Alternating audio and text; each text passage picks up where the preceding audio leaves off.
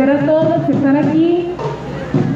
En estos momentos no, no tengo idea de qué decir, pero una vez más tengo que estar aquí, levantar la voz por mi amiga Andrea, porque Martín Brenes creyó tener el derecho de quitarle la vida, de quitarle a la niña de los sueños de ella, la mamá, de quitarle a mi amiga.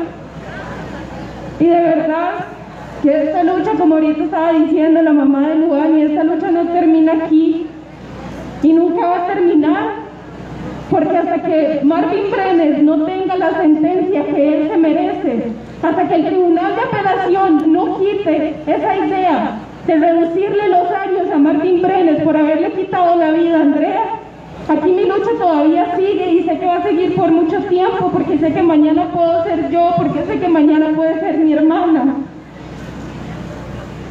Ustedes no saben lo duro que es la última imagen tener de mi amiga es verla en ese ataúd con la cara irreconocible, porque Andrea tenía la cara súper finita y Martín la dejó irreconocible.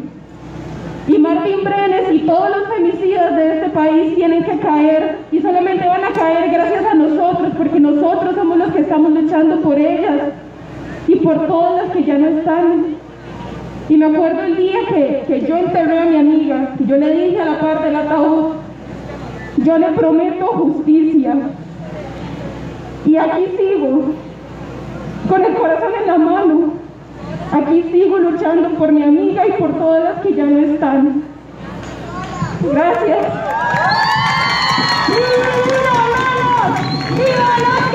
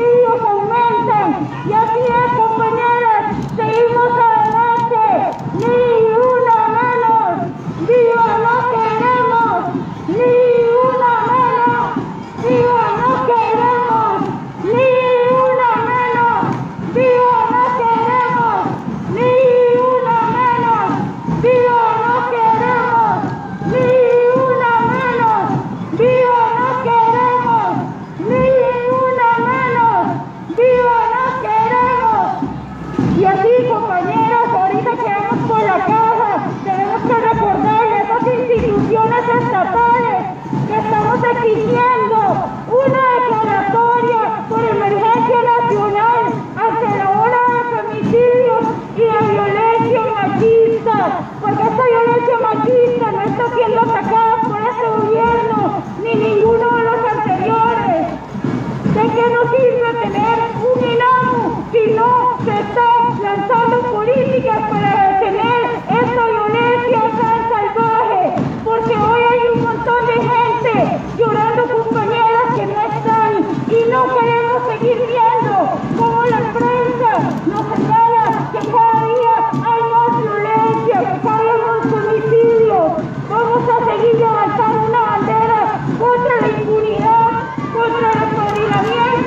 de esos funcionarios judiciales que hoy alientan los violentos y a femicidas. Hoy estamos acá, la coordinadora feminista contra los femicidios sin impunidad, diciéndole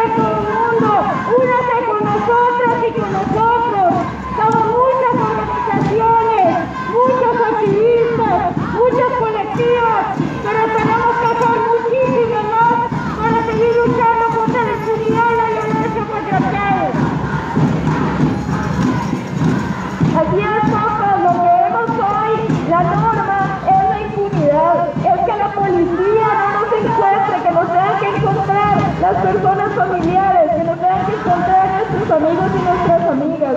Y es por eso también que pensamos que la violencia estructural es responsabilidad del Estado. También la policía aporta la violencia feminina cuando reproduce este tipo de ideas de que otros pueden decidir sobre nuestros cuerpos. Y precisamente queremos decirle al presidente que hace unos meses decía que se había bajado la tasa de femicidios como si estuviera